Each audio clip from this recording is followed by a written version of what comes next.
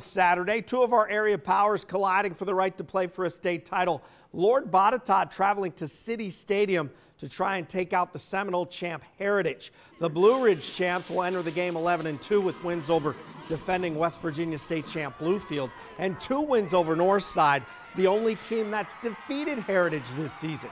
Coach Jamie Harless's team hangs their hat on defense and a physical power rushing attack.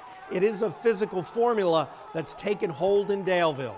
The biggest thing is is you you got to play you know play your system you know trust your kids that they're going to do their job you know one i think one of the biggest issues you always uh, encounter as a coach is sometimes you outsmart yourself and you try to do something that you haven't been doing um, you know i mean we'll we'll have some small wrinkles that we will use, but you know we're going to be who we are.